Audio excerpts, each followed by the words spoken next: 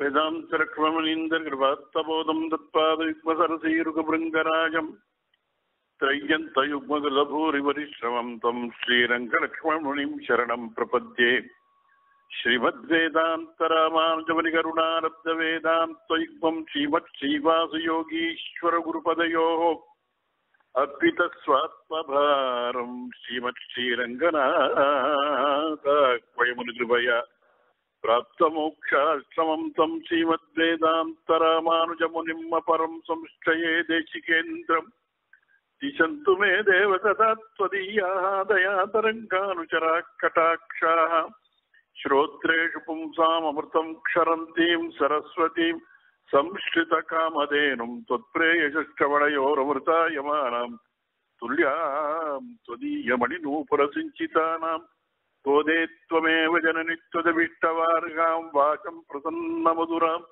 मम संविदेही नीडातुङ्गस्तनगिरितटी सुप्तमुद्बोध्य कृष्णम् पारार्त्यम् स्वम् श्रुतिशतशिरसिद्धमध्यापयन्ति स्वोच्चिष्टायाम् श्रयिनिगलितम् या बलात्कृत्य पुङ्क्ते கோதாதஸ்யை நமைதமிதம் பூயையே வாஸ்து பூயான்மவயல் புதுவையாண்டாளரங்கற்கு பல்லு திருப்பாவை பல்வதியம் இன்னிகையால் பாடி கொடுத்தாள் நற்பாமாலை. பூமானை சூடி கொடுத்தாடை சொல்லு. சூடி கொடுத்த சுழற்கொடியே தொல்பாவை பாடி அருளவல்ல பல்வளையாய். நாடி நீ வெங்கடவர்க்கு என்ன விதி என்ற எம்மாற்றம். நாம் கடவா வண்ணமே நல்கு. ஸ்ரீவிட்டு சித்த குலநந்தன கல்பவல்லீம் ஸ்ரீரங்கராஜ ஹரிச்சந்தன யோக திருஷ்யாம். साक्षात् क्षमां करुणया कमलामिव अन्यां गोदामनन्यशरणशरणं प्रपद्ये। अन्तर्ज्योतिः किमपि विना मञ्चनं योगदृष्टेः। चिन्तारत्रं सुलभविहनस्थितिमोक्षानुरूपं दीनानाथव्यसनसमनं दैवतं दैवतानां दिव्यं चक्षुः श्रुतिपरिषतां दृश्यते रङ्गमध्ये।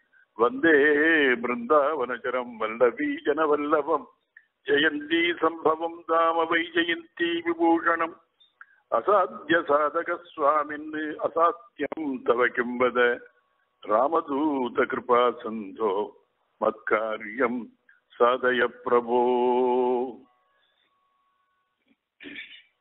பூமி பிராட்டியின் அம்சமாக முன்னுரைகளே பெரியாழ்வார் பெற்றெடுத்த பெண்பிள்ளையாக ஆவிர்வவித்து செங்கத்தமிழ் மாலை என்ற அற்புதமான ஒரு கிரந்தத்தை நமக்கு அருளினாள் ஆண்டாள் நாச்சியார். அதிலே ஆறாவது பாசுரம் புள்ளும் சிலம்பினகான்கிற பாசுரத்துடைய அனுபவம் நமக்கு தொடர்கின்றது என்றைக்கும். புள்ளும் சிலம்பினகான் புள்ளரையின் கோயிலில் வெள்ளை ஒளிசங்கின் பேரருவன் கேட்டிலையோ பிள்ளாய் எழுந்திராய் பேய்முலையின் அஞ்சுண்டு கள்ளச்சகடன் கலக்கழிய காலோச்சி வெள்ளத்து அரவில் துயிலமர்ந்த வித்தினை உள்ளத்துக்கொண்டு முனிவர்களும் யோகிகளும் மெல்ல எழுந்து அரியன்ற பேரரும் உள்ளம் புகுந்து குளிர்ந்தேலோரம்பாவாய் என்பதான பாசுரம். இது ஆறாவது பாசுரம் தொடங்கி ஏற்கனவே அறிவித்த மாதிரி பதினஞ்சாம் பாசுரம் வரையில் ஒவ்வொரு தோழியாக எழுப்புகின்ற கிரமத்திலே பிள்ளா என்று பகவத் அனுபவத்திற்கு புதியவளான ஒருவளை எழுப்புகின்றாள் என்று பார்த்தோம். அப்ப வெளியில் இருப்பவர்களை பார்த்து உள்ளே உறங்குபவள் பொழுது விடுந்ததற்கு அடையாளங்கள் கேட்க இவர்கள் வெளியே இருப்பவர்கள் புள்ளும் சிலம்பினகான் என்று வெளியிலே பக்ஷிகள் சப்தத்தை சொல்லி அதை ஏற்காமல் ஏன்னா இந்த ஊர்ல எந்த நேரமும் பக்ஷிகள் சப்திக்கும் அது அடையாளம் இல்லை என்ற உடனே புள்ளரையின் கோயிலில் வெள்ளை ஒளி செங்கின் பேரர்வன் கேட்டிலையோ? நான் சொல்லி பிறகு புள்ளா எழுந்திராய் பேய்முலை நஞ்சுண்டு கள்ளச்சகடன் கலக்கழிய கோலாச்சி அதாவது பூத்தனா சமகாரம் பண்ணினவன் அந்த பிரபு. அவனை தன் உள்ளத்திலேயே வைத்துக் கொண்டிருக்கின்றார் முனி முனிவர்கள் யோகிகள் என்று மேலே சொல்ல போறார். இந்த பேய்புடை நஞ்சுண்டு என்றதான ஒரு இடத்துல இந்த பூத்தனா சம்ஹார விஷயத்துல நிறுத்தி இருந்தோம் சென்ற உபன்யாசத்துல. ஏன்னா ஏற்கனவே அனுபவித்தபடி இந்த லீலை ஒரு அற்புதமான நிலை அமானுஷ்யமான லீலை மூன்று மாத குழந்தையாக இருக்கின்ற போது கண்ணன் செய்த ஒரு லீலை பூத்தனா சம்ஹாரம் என்பது. அதனால அதுல ஆழங்கால் படாத ஆழ்வார்களே கிடையாது. அனைத்து ஆழ்வார்களும் அந்த விஷயத்தை ரொம்பவும் ஆழங்கால் படுறான் அதுல மேல சில பாசுரங்களை இன்னைக்கு பார்த்துட்டு அப்புறம் மேல போறோம். ஆழ்வார்களுடைய அனுபவம் பூத்தனா மகாரத்தை சொல்ற பொழுதே அங்க திருவங்காழ்வார் அனுபவிக்கிறார். அங்கோராய் குலத்துள் வளர்ந்து சென்று அங்கோர் தாய் உருவாகி வந்தவள் கொங்கை நஞ்சுண்ட கோயின்மை கலோ திங்கள் வெங்கதிர் சிறுகின்றதே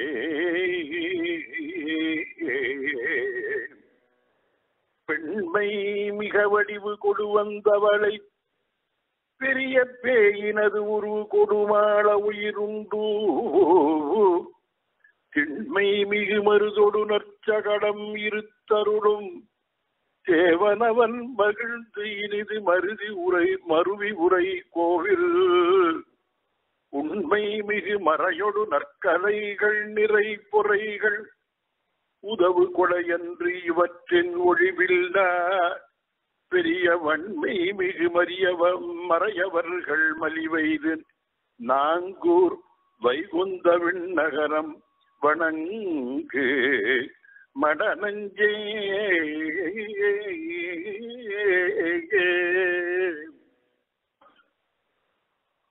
வஞ்சனை செய்ய தாய் உருவாகி வந்த பேய்.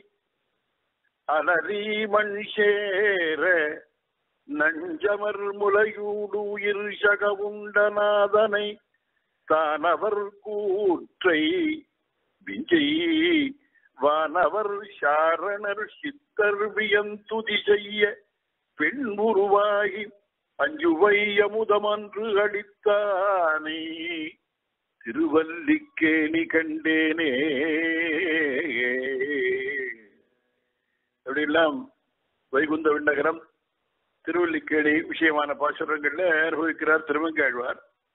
நம்மாழ்வார் ஒக்கலை வைத்து முளைப்பால் உண்ணன்று தந்திட வாங்கிச் செக்கஞ்சகன்று அவள் பால் உயிர் செக உண்ட பெருமான் நக்க பிரானோடு அயனும் இந்திரனும் முதலாக உக்கவும் தோற்றிய ஈசன் மாயன் என் நெஞ்சினுள்ளானே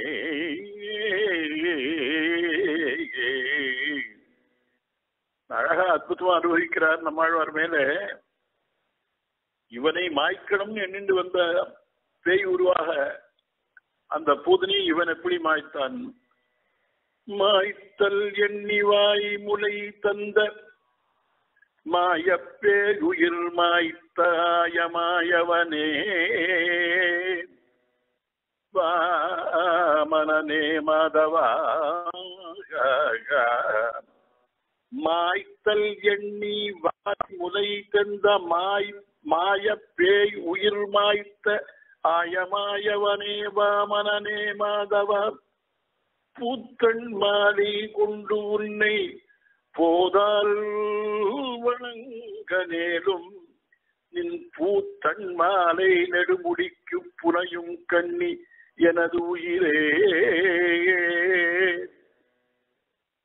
இதே அபிப்பிராயத்தை மறுபடியும் திருவங்கழ்வார் பத்ரிகாஷ்டிர விஷயமான பாசனத்தை சொல்லச்சு பேயிடைக்கிருந்து வந்த மற்றவள் தன் பெருமுலை சுவைத்திடப் பெற்ற தாயிடைக்கிருத்தல் அஞ்சுவன் என்று தளர்ந்திட வளர்ந்த என் தலைவன். செய்முகட்டுச்சி அண்டமும் சுமந்த செம்பொன் செய்விலங்கள் இலங்கு வாய் இந்த கங்கையின் கரை மேல் பதரியாசிரமத்துள்ளானே திருமங்காழ்வாரே வேற ஒருத்தர் சொல்றார் செப்பாணி பருவத்தை அவரும் அனுபவிச்சவர் கிருஷ்ணாவதாரத்தை பெரியாழ்வார் மாதிரி யாயும் பிறரும் மரியாத யாமத்து மாயவலவை பெண் வந்து முலை தர பே என்று அவளை பிடித்து உயிருண்ட வாயவனே கொட்டாய் செப்பாணி மால்வண்ணனே கொட்டாய் செப்பாணி அதான் சொல்றார் அது மாதிரி என்ன பண்ணார்னா அங்க சொல்லிச்சு என்ன பண்ணார் புள்ளும் சிலம்பரகான் புள்ளரையின் கோயில் வெள்ளை ஒளிசங்கின் பேரர்வன் கேட்டிலையோ பிள்ளா எழுந்திராய் பேய்முலை நஞ்சுண்டு. அப்புறம் கள்ளச்சகடம் கலக்கழிய காலோச்சி. மூணு மாசத்துல பூதராச சமகாரன்னா ஆறு மாச குழந்தையா இருக்குச்சு சகடாசுடன் நான் ஒரு நாளைக்கு குழந்தைய தொட்டில் விட்டுருந்தா அந்த குழந்தைய அப்படி தொட்டில குப்புறப்படுத்திட்டு கால் ரெண்டு காலையும் உதைக்கிறது. தொட்டில என்ன பண்ணா தொட்டிலே ஒரு வண்டி கீழே கட்டிருக்கான் அவர் பெண்மக்கள்லாம் யமுனையில ஜலம் கொண்டு வரத்துக்கு போயிருந்தா யாரும் பக்கத்துல இல்ல. இந்த அசுர பிரசங்கம் வந்தான் இந்த அசுர வாசனை இவருக்கு நல்லா தெரியும் சர்வஜனவர் பசியினாலே உதைப்பது மாதிரி குப்புறப்படுத்தின குழந்தை ரெண்டு காலையும் அப்படி உதைக்க பொழுது அந்த வண்டி சக்கரம் எல்லாம் நூறு சுக்கா உடைஞ்சு போச்சு. சாதாரணமா ஆறு மாச குழந்தை செய்யக்கூடிய காரியமான இது அமானுஷ்யமான இல்லை அத நம்மாழ்வார் அறிவிக்கிறார். அதாவது எந்த ஒர்க் ஷாப்ல கொண்டு கொடுத்தாலும் அதை ரிப்பேர் பண்ண முடியாது அப்படி போச்சு. தளர்ந்தும் முறிந்தும் சகட அசுரர் உடல் வேரா பிளந்து வீழ திருக்காலாண்ட பெருமானே. தளர்ந்தும் முறிந்தும் சகடாசுரர் உடல் வேரா பிளந்து வீழ திருக்காலாண்ட பெருமானேனர். ஒரு சுவாரஸ்யம் பார்த்தா பூதனா சம்ஹாரம் சகடாசுரனை அழித்தது ரெண்டையும் சேர்த்து ஆண்டாள் இந்த பாசுரத்துல ஒரே ரெண்டு லீலையும் சேர்த்து இந்த பாசுரத்தை அறிவிப்பது நம்மாழ்வார் போன வழி நம்மாழ்வார் அதே மாதிரி அனுபவிக்கிறார். ரெண்டையும் சேர்த்து திருத்தப்பனார் பெரியாழ்வார் அனுபவிச்சிருக்கார். அந்த அதை பின்பற்றி அனுபவிக்கிற மாதிரி தான் இருக்கு. நம்மாழ்வார் ரெண்டையுமே சேர்த்து அனுபவிக்கிறார் பார்க்கலாம். செய்யும் பூங்குழல் பேய்முலை உண்ட பிள்ளை தேற்றமும் பேர்ந்து ஓர் ஷாடிரச் செய்ய பாதம் ஒன்றால் செய்த நின் சிறுக்கேவகமும் நெய் உன் வார்த்தையுள் அன்னை கோல் கொள்ள நீ உன் தாமரை கண்கள் நீர் மல்க பையவே நிறையும் வந்து என் நெஞ்சை உருக்குங்களே. பெய்யும் பூங்குழல் பேய்முறை உண்ட பிள்ளை தேற்றமும் பேருந்து ஓர் ஷாடிரச் செய்ய பாதம் ஒன்றால் செய்த நின் கிரிக்கேவகமும் அதாவது பூதனா சம்ஹாரம் சகலாகர பஞ்சன ரெண்டும். அதே பெரியாழ்வார் திருத்தப்பனார் ஆச்சாரியன் ஆண்டாளுக்கு திருத்தப்பனார் அப்பா போன வழிதான் எல்லா பாஷனும் மயமையும் பார்த்தோம்னா அவரும் இங்க சொல்றார். கஞ்சன் புணப்பினில் வந்த கடிய சகடம் உதைத்து வஞ்சக பேய்மகள் துஞ்ச வாய்முலை வைத்த பிரானே மஞ்சளும் செங்கழு நீரின் வாசிகையும் நாறு சாந்தும் அஞ்சனமும் கொண்டு வைத்தேன். அழகனே நீராடவாராய். அதனாலே இந்த கள்ளச்சகடம் புதைத்தது பேய்புலை நஞ்சுண்டது ரெண்டையும் சொல்லி பேய்புலை நஞ்சுண்டு கள்ளச்சகடம் கலக்கழிய காலோச்சி வெள்ளத்து அளவில் துயிலமர்ந்த வித்தினை வெள்ளத்து அளவில் துயிலமர்ந்த வித்துன்னா திருப்பார்கடலிலே சயனிச்சிருக்கிற எம்பெருமான அப்படி வித்து என்ன காரணம்னா அவன் பாக்கி எல்லா அவதாரங்களுக்கும் இது நாற்றங்கால் போலே. மற்ற அவதாரங்களுக்கெல்லாம் வித்து பீஜமாக. அந்த திருப்பார்கடலை சேரிச்சுட்டு இருக்கான் எம்பெருமான். எந்த அவதாரம் பார்த்தாலும் பாகவதம் பூர்த்தியா பார்க்கலாம். அவதாரத்திற்கு முன்னால் தே- இந்திராதி தேவதைகள் வந்து திருப்பார்கடலிலே வந்து அவனுடைய மு- அவனிடத்திலே முறையிட்டு அதன் பிறகு அங்கிருந்து அவதாரம் பண்ணுவதாக. அதனால்தான் வெள்ளத்திரவில் துயிலமர்ந்த வித்து வியூகமூர்த்தி அவன் ஏன்னா அவன் எல்லா அவதாரங்களுக்கும் இதுதான் விதை அதனால. அப்படிப்பட்ட வெள்ளத்திரவில் துயிலமர்ந்த வித்தினை உள்ளத்துக்கொண்டு முனிவர்களும் யோகிகளும். நான் உள்ளத்து கொண்டு ஹிருதயத்தில் இருக்காரா பெரியாழ்வார் அனுபவிக்கிறார் பனிக்கடலை பள்ளிகோனை பழக விட்டு ஓடி வந்து என் மனக்கடலில் உள்ள மாய நம்பி அது மாத்திரம் இல்ல என் மனசுல வந்து எம்பெருமான் வந்து உட்கார்ந்தான். எப்படி உட்கார்ந்தான்னார்? அது சொல்லச்சே அறபத்து அமலையினோடும் அழகிய பார்க்கடலோடும் அரவிந்த பாவையும் தானும் அகம்படி வந்து புகுந்து என் ஹிரதயத்தில் வந்து உட்கார்ந்தான்னார். எப்படி உட்கார்ந்தான் தெரியுமா? திருப்பார்க்கடலோடும் திருவனந்தாழ்வானோடும் நாச்சிமாரோடும் கொண்டு என் நெஞ்சிலே அப்படிப்பட்ட அந்த முனிவர்கள் யோகிகள். இந்த பெரியாழ்வார் அனுபவிச்ச மாதிரி அந்த வெள்ளக்கருவில் துயர் வந்த வித்தினை உள்ளத்துக்கொண்டு முனிவர்களும் யோகிகளும் முனிவர்கள்னா யாருன்னா ஞான யோகிகள் அதாவது மனநசீலர்கள் தியானம் செய்கின்றவர்கள். யோகிகள்னா கர்ம யோகிகள் கைங்கரியம் செய்கிறவர்கள். இவா என்ன பண்றா தெரியுமா? இந்த எழுப்புற பெண்ணை பார்த்து இவா சொல்றா வழியில இருக்கிற ஆண்டாள் கோட்டி உள்ளத்துக்குள்ள முனிவர்களும் யோகிகளும் மெல்ல எழுந்து அவ தூங்கி எழுந்திருக்கே எப்படி எழறான்னா மெதுவா எழுந்திருக்கிறான். கர்ப்பிணிகள் குழந்தைகளுக்கு நோவு வராமல் எழுந்திருக்குமா போலேன்னு வியாக்கியானம். ஏன்னா உள்ள அந்தரியாமியான பகவான் இருக்கானே அவனுக்கு நோவு வராமல் இருக்கணும். எப்படி கர்ப்பிணி தன் கருவிலே இருக்கிற குழந்தைக்கு நோவு வராமல் எழுந்திருக்கச்சே மெதுவா நிதானமாக அப்படி எழுந்திருப்பாளோ அது மாதிரி நம்ம யாருக்குமே அதுதான் அப்படிக்கப்படுது கிளம்புற தூங்கி எழுந்திருக்கிற பொழுது நிதானமாக மெதுவாக எழுந்திருக்கணும். ஏன்னா உள்ளத்திலே உரைகின்ற எம்பெருமானுக்கு எந்த ஹானியும் வரக்கூடாதுன்னு. அதை நன்றாக காட்டி தந்தவன் பிரகலாதாழ்வான் ஏன்னா ஹிரண்ய கசிபு பிரகலாதனுக்கு எத்தனை துன்பம் உண்டோ அத்தனையும் கொடுத்தான். ஏன்னா அவன் சொல்லுகின்றபடி ஹிரண்யாய நமகா என்பதை சொல்லாமல் அட்டாட்சரத்தையே சொன்னான் குருகுலத்துல. அதனால அவனிடத்திலே கோபம் கொண்டு அவனை கொல்லுவதற்கு பலவித முயற்சிகள் பண்ணினான் ஹிரண்யகசிபு. நெருப்புல தூக்கி போட்டான். கல்லை கட்டி சமுத்திரத்துல போட்டான். யானையை விட்டு இடரை சொன்னான். எல்லாம் பண்ணான் அதுக்கப்புறம் என்ன பண்றான்னா மலையிலேருந்து கீழே உருட்டு உருட்ட சொன்னான் அவன் இந்த பிள்ளைய. மலையிலிருந்து இந்த பிள்ளையை கீழே உருட்டி விடுறான் அவருடைய பிரச்சர்கள் அப்ப இந்த குழந்தை ஐந்து வயது பாலகன் அவன் என்ன பண்ணானா ரெண்டு கையும் மார்பை சேர்த்து அப்படியே கட்டினானா என்னன்னா எனக்கு எந்த ஹானி ஏற்பட்டாலும் பரவாயில்லை. என் உள்ளத்திலே உரைகின்றான எம்பெருமான் ஹரி அவனுக்கு எந்தவித கஷ்டம் ஏற்படக்கூடாதுன்னு பண்ணினான்கிறார். பாகவத ஸ்லோகம் பார்த்து அற்புதங்க. ததத்தம் சிக்ஷிபு சர்வே பாலம் தைத்தேய கிங்கரா பபாத சோபியத க்ஷிப்தோ ஹிருதயேனோத்பகன் ஹரிம். அந்த ஹிருதயத்துல அந்த ஹரியை அப்படியே அவன் தரிச்சுட்டு ஹிருதயத்துல இருக்கார் பெருமான் அவருக்கு எந்த ஆபத்தும் வரக்கூடாது. அப்படி இருக்கானா? அது மாதிரி இவாள் என்ன பண்றா? அந்த வெள்ளத்திரவில் திருவந்த வித்திரை உள்ளத்துக்குண்டு முனிவர்களும் யோகிகளும் அந்த பிரகலாதன் எப்படி உள்ளத்துல இருக்கிற பெருமாளுக்கு ஆபத்து வரக்கூடாதுன்னானோ எப்படி பெரியாழ்வார் உள்ளத்திலே எம்பெருமான் வந்து அமர்ந்தார்னு சொல்றாரோ அது மாதிரி இவர்கள் உள்ளத்திலே இருக்கின்ற எம்பெருமானுக்கு எந்தவித ஹானியும் ஏற்படக்கூடாது என்பதற்காக மெல்ல எழுந்து படி என்ன பண்றா? ஹரி என்ற பேரரவம். என்ன? பகவத்கைங்கரி மன்றான எழுந்து ஹரி ஹரி ஹரி ஹரி ஹரி. சாஸ்திரம் அப்படித்தான். காலம்பரம் எழுந்திருக்கிற பொழுது ஹரி ஹரி ஹரி ஹரின்னு ஒரு எழுதலும் தடவை சொல்லிட்டு எழுந்திருக்கணும் சாஸ்திரம். ஏன்னா ஹரி ஹரதி பார்த்தானி துட்ட சித்தையிரப்பி ஸ்மிருதா. என்ன சொல்றதுன்னா ஹரின்னு ரெண்டு எழுத்து சொன்னா பாப்பங்கள்லாம் போறதான் எப்படின்னா நம்ம அறியாமல் நம்ம நெருப்புல கை வச்சாலும் எப்படி சுடுவோம்? அது மாதிரி அந்த ரெண்டு எழுத்து அதனுடைய அர்த்தம் தெரிஞ்சு தெரிஞ்சு சொன்னாலும் சரி தெரியாம சொன்னாலும் சரி அந்த ரெண்டு எழுத்து நாம சொன்னா பாபங்கள்லாம் போறதுன்னு. இவெல்லாம் என்ன பண்றா? மெல்ல எழுந்து அரியன்ற பேரறவம் அரியன்ற பேரறவம்னு சொல்றாங்க. அங்கு சொல்ற பொழுது வெள்ளை விழிசெங்கின் பேரறவன் கேட்கலையோன்னு சொல்ற பொழுது அங்க பேர் என்ற பொருளுக்கு பெரும் சப்தம்னு அர்த்தம்.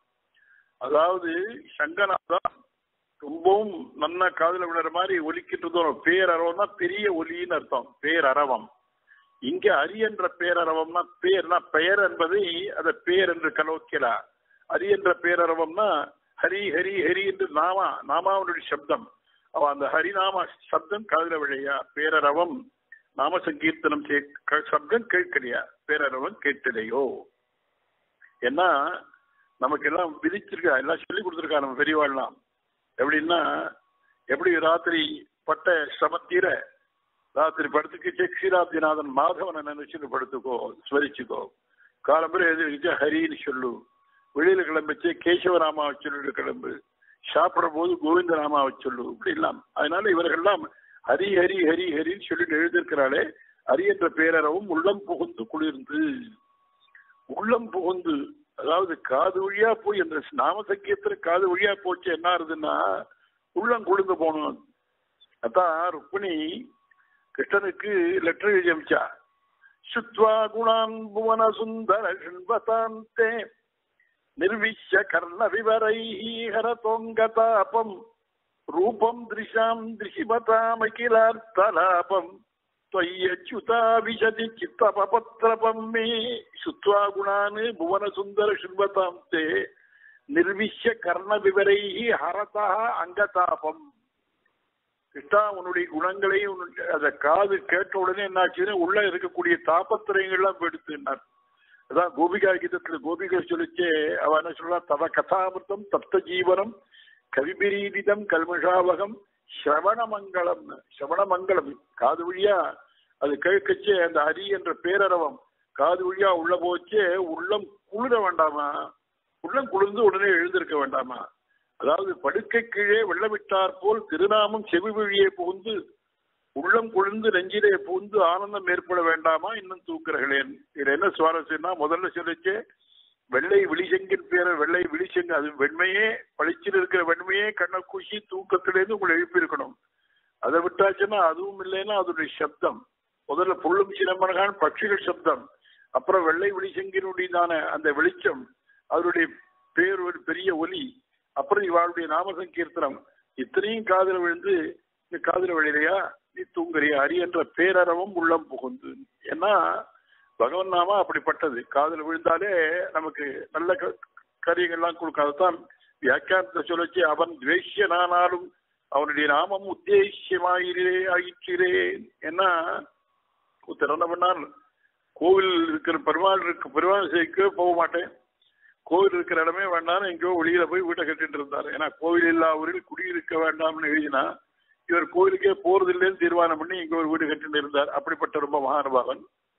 அது என்னாச்சுன்னா அவருக்கு ஒரு சமயம் அவர் பிள்ளைக்கு ரொம்ப உடம்பு கொடுத்து டைஃபாய்டு செய்யற மாதிரி பெரிய டாக்டர் எல்லாம் வைத்தியங்கள்லாம் பார்த்துட்டு கடைசியில் என்ன சொல்லலாம் சாதாரணமா பார்க்கிற வழக்கம் சொல்ற வழக்கம் தான் அது. டாக்டர்கள் நாங்கள் I have tried whatever we can ultimately you please pray to காட்ங்கிறான் அது அல்டிமேட்டாக தான் பண்ண சொல்றான். முதல்ல பண்றது இல்லைவா அதனால என்ன சொல்றான் நாம் பகவானை பிரார்த்திச்சுக்கோங்க உடனே விட்டு சாஸ்தான் பாராயணத்தை பண்ணி உடனே ஆச்சாரியெல்லாம் சொன்னான் விட்டு சகஸ்தாம் பாராயணம் பண்ணி குழந்தை உடம்பு சரியாயிடும். அது காதில் பகவன் நாம விழுந்த உடனே அவன் சரியாச்சான். பாஷ்யக்கார சரித்திரத்துல அப்படித்தான் பாஷ்யக்காரர் ஸ்ரீரங்கத்தில் காலக்ஷேபம் சாதிச்சுட்டு இருக்கச்சு ஒரு லௌகிகர் தினம் ஆபீஸ்ல இருந்து அவசர அவசரமா வந்துட்டு அவர் வந்து காலக்ஷேபம் கேட்கிற வழக்கம் சாயங்காலம் வந்து எங்க இருந்து தீர்த்தாமலிட்டு வருவாராங்க அப்படி இருந்துச்சு ஒரு நாளைக்கு அவரை பத்தி ஒருத்தர் புகார் சொன்னார். என்ன புகார்னா சுவாமி உங்கள்கிட்ட ரொம்ப சிஷியரா இருக்கார் உங்கள்கிட்ட வந்து காலக்ஷேபம் கேட்கிறார். ஆனா அவர் ஜெயினர் கோயிலுக்கு எல்லாம் போயிட்டு வராரேன்னு சரி அப்படிலாம் இருக்காது என் சிஷ்யம் அப்படி பண்ண மாட்டானேன்னு சொன்னாராம் பாஷ்யக்காரர். இல்ல நீங்க விசாரிச்சு பாருங்க. அன்னைக்கு காலக்ஷேபத்துக்கு இந்த சிஷ்யனை பார்த்து நீங்க வர வழியில இது ஒரு கோயில் கோயிலுக்கு போயிட்டு வரையாமே ஏதோ கோயில் சேவிச்சுட்டு வரையாமா அவர் கோயில் சேவிச்சுட்டு வரேன். அதுக்கு அவர் பதில் ஏன்னா நம்மாழ்வார் என்ன சொல்றாருன்னா திருவுடை மன்னரை காணில் திருமாலை கண்டேனே என்னும் உரு உலை வண்ணங்கள் காணில் உலகளந்தான் என்று துள்ளும் கருவுடை தேவில்கள் எல்லாம் கடல் வண்ணன் கோயிலே என்னும் பெருவிலும் வீழ்விலும் ஓவா கண்ணன் கடல் விரும்புமே. அதாவது கருடை தேவில்கள் எல்லாம் கடல் வண்ணன் கோயிலே என்னும் அந்த மனோபாவத்துல எந்த கோவில் பார்த்தாலும் சிவன் நாராயண நாராயணபடிதான திருக்கோயில் என்று கை கூப்பி தொழுது ஒரு வழக்கம் அப்படித்தான் சேவிச்சேன்னா அது ஜெயினர் கோவிலாச்சேன்னு யாராவது சொல்றாளேன்னா உடனே மூர்ச்சியா விழுந்துட்டார் அவர் ஜெயினர் கோவிலை நீ சேவிச்சியாமேன்னு ஆச்சாரியன் கேட்ட உடனே மூர்ச்சி ஆயிட்டார். பக்கத்துல எல்லாம் பதறினா உடனே பாஷ்யக்காரர் சொல்றாரா விஷ்ணு சஸ்தாமத்தை பாராயணம் பண்ணுங்கோ அவர் எழுந்துட்டுருவான். அப்படி ஏன்னா அந்த நாமசங்கீர்த்தனத்தினுடைய பிரபாவம் அப்படிப்பட்டது உன் காதல விழறியா அந்த அரியன்ற என்ற காதல விழுந்து உள்ளம் புகுந்து குளிர்ந்து இதை தூங்கி எழுந்திருக்க வேண்டாமா? எழுந்திரு என்பதாக பாசுரார்த்தம். அதுக்கு சுவாபதேசம் மனுஷ ஜென்மம் எடுத்ததற்கு காலக்ஷேபம் கேட்கணும். பட்சிகள் காலக்ஷேபம் சொல்றதுங்கிறார். பட்சிகளும் காலக்ஷேபம். புள்ளும் சிலம்பனகான்னு சொல்லிச்சு பட்சிகளும் காலக்ஷேபம்னா என்ன அர்த்தம்னா மகான்கள்லாம் பட்சி ரூபமா வந்து காலக்ஷேபம் சாதிக்கிறானாம். சாரீரிக மீமாம்சை ஸ்ரீபாஷ்யத்திலே உபனிஷத் பிரசித்தமான ஒரு கதை. ஞானஸ்ருதின்னு ஒரு மகாராஜா கணக்கற்ற அன்னதானங்கள்லாம் பண்ணினார். ஆனா அவருக்கு பிரம்ம ஜானம் கிடையாது. ஒரு நாளைக்கு அவரை படுத்துட்டு இருக்கிற பொழுது ரெண்டு அன்ன பட்சிகள் அவர் தலைக்கு மேலே பேசுவது கேட்டார் ராத்திரி. ஒரு பட்சி மற்றது மற்றதை பார்த்து சொல்லித்து அவன் அவன் பக்கத்துல போகாது அந்த ராஜா பக்கத்துல போகாதுன்னு. இன்னொரு பட்சி கேட்டு ஏன்? என்ன அவன் பக்கம் போனியானா? அவனுக்கு தேஜஸ் குறைஞ்சு போச்சு. அதனால உனக்கும் போயிடும். எப்படின்னு அடுத்த பக்ஷி கட்டுது. ரைக்குவ மகரிஷியை விட தேஜஸ் குறைஞ்சு போச்சுன்றது முதல் பக்ஷி? இது ரெண்டும் பேச்சினது காதல விழுந்தே தவிர அந்த ராஜாவுக்கு அப்புறம் ஒன்றும் புரியல. ரைக்குவ மகரிஷின்னு சொல்றாரு அவன் எங்க இருக்கா என்னன்னு கண்டுபிடிச்சிட்டு இங்க இருந்து அவர் இருக்கிற இடத்துக்கு போனா அவர் பெரிய உடம்பெல்லாம் இந்த யானச்சோரி இப்படி உட்கார்ந்துருக்கார். அந்த ரிஷியை போய் சேவிச்சு உங்களை பத்தி கேள்விப்பட்டேன். உங்கள்கிட்ட நான் காலக்ஷேபம் பண்ணணும்னு எனக்கு ஆத்ம ஜானம் வரணும். காலக்ஷேபம் பண்றதுக்காக வந்திருக்கேன். அவர் பரீட்சைப்பட்டார் அந்த ரிஷியவரை அவர் சொன்னார்னா அப்படிலாம் சொல்லித்தர முடியாது. ஒரு ராஜ்யம் பூரா எனக்கு குருதட்சிணா எழுதி கொடுத்தா உனக்கு காலக்ஷேபம் சொல்றேன். சரி தரேன் நான். உன்னுடைய பொண்ணு எனக்கு நீ கல்யாணம் பண்ணி கொடுத்தா சொல்றேன் அதுக்கு சரின்னா. இந்த பரீட்சையில பண்ண உடனே உடனே சொன்னார் அதெல்லாம் எனக்கு ஒண்ணும் வேண்டாம். நீ எந்த அளவுக்கு நீ சீரியஸா இருக்கேன்னு பாக்குறதுக்காக பண்ணேன்னு சொல்லி அதுக்கப்புறம் உபதேசங்கள்லாம் பண்ணார். அப்படி ஆச்சாரியர்கள்லாம் இந்த பக்ஷி மாதிரி வந்து இந்த பட்சிகள் மாதிரி வந்து இவாளுக்கு உபதேசம் உனக்கு புரிய வைப்பதற்காக பண்ணானா அதனால பட்சிகள்னு சொன்னாலே ஆச்சாரியன்னு அர்த்தம். ஏன்னா பட்சிகளுக்கு ரெண்டு ரெக்கைகள். அது மாதிரி ஆச்சாரியன் ஞானம் அனுஷ்டானம் என்று ரெண்டு அவள்கிட்ட உண்டு. அது ரெண்டு இருந்தா தான் ஆச்சாரியனுக்கு விசேஷம். கேவலம் ஞானம் மாத்திரம் இருந்தாலும் போற அனுஷ்டானம் இல்லாத ஞானம் பிரயோஜனம் இல்லை அது. அதே மாதிரி அனுஷ்டானம் மாத்திரம் வந்து ஞானம் இருந்தாலும் பிரயோஜனம் இல்லை. அது எப்படி பட்சிகளுக்கு ரெண்டு ரெக்கையோ? அது மாதிரி சேர்ப்பாரை பட்சிகளாக்கி ஞான கர்மங்களை சிறகன்று குரு சம் பிரம்மச்சாரி புத்திர சிஷ்யஸ்தானே பேசும். ஆச்சாரிய சொல்லி வைக்கிறார் மாதிரி எப்படின்னா உபாபியாம் பக்ஷாபியாம் யதா கே பக்ஷிணோ கதி ததேவ ஜான கர்மாபியாம் பவம் தரதி தேசிகா உபாபியாம் பக்ஷாபியாம் எப்படி ரெண்டு பக்கத்து பட்சி ரெண்டு ரெக்கையை வச்சுட்டு பட்சிகள் ஆகாசத்தை சஞ்சரிக்கின்றதோ அது மாதிரி ஞானம் அனுஷ்டானம் இந்த ரெண்டும் ரெண்டு ரெக்கைகள் மாதிரி இருந்து அந்த ஆச்சாரியெல்லாம் நமக்கு உபதேசங்கள் பண்ணார் ஞானம் அனுஷ்டானம் இவை நன்றாகவே இவருடைய ஞான குருவை அடைந்திட்டால் தேனார் கமல திருமாமகள் குழுதன் தானாகவே வைகுந்தம் தரும்னு எழுதிட்டு போனான். அந்த மாதிரி நல்ல ஆச்சாரியம் கிடைச்சாச்சுன்னா ஆட்டோமேட்டிக்கா ரிசர்வ்டு வைகுண்டத்தை நமக்கு பிளேஸ் அப்படி பட்சிகள்லாம் புள்ளும் சிலம்பரகான்னா ஆச்சாரியர்கள்லாம் காலக்ஷேபம் பண்ணிட்டு இருக்கான் புள்ளரையன் கோயில்னா தேவர்களும் ரிஷிகளும் ஒரு சமயம் பகவான்கிட்ட தாங்கள் எங்க வசிக்கலாம்னு கேட்கிறா பெருவாள் போய் கேட்டா தேவர்கள் ரிஷிகள்லாம் அதுக்கு பகவான் என்ன சொல்றார்? குரவோ எத்திர பூஜ்யன் பூஜ்யந்தே சாது சமன்விதாக வஸ்தவியம் தத்திர யுஷ்மாபிகி எத்திர தர்மோ நகீயத்தே பகவான் பதில் சொல்றார் குரவோ எத்திர பூஜ்யந்தே. அல்ல ஏன்னா ஆச்சாரியர்கள்லாம் எங்கு பூஜிக்கப்படுகின்றாலோ அதனாலதான் பாகவதத்திலேயே பின்னால ஆழ்வார்கள்லாம் அவசரம் பண்ண போறத சூக்ம திருஷ்டினால முன்னாரே நல்ல தீர்க்க தரிசனத்தோடு பாகவதத்துல ஸ்லோகம் பார்க்கலாம் கலு கலு பவிஷ்யந்தி நாராயண பராயணா क्वचित् क्वचिन् महाभागाः द्रमिडेषु च भूरिशः ताम्रपरणी नदी यत्र कृतमालापयस्विनी कावेरी च महाभागा प्रतीची च महानदी பாகவத ஸ்லோகம் இது. என்ன சொல்றாருன்னா கலவு கலு பவிஷ்யத்தி நாராயண பராயணாக கொச்சின் கொச்சின் மகாபாகா திருமிடேஷ பூரிஷா என்ன நாராயண பராயணர்களாக தன் பல மகான்கள்லாம் தமிழகத்திலே நிறைய அவதாரம் பண்ணுவா. தாமிரபரணி நதி தீரம் பாலாறு வைகையாறு காவேரி இப்படி பல பல அந்த நதியினுடைய தீரங்களிலே அவதரிப்பார்கள். இல்ல அப்படி உயர்ந்த மகான்கள் எங்கு வசிக்கின்றார்களோ அதுதான் நாங்கள் வசிக்கிறதுக்கு தகுந்த இடம்னு பகவான் பதில் சொன்னார். அப்படி அதான் திருமை சேர்ப்பிறான் சொல்றார் எல்லாத்தையும் விட்டவா?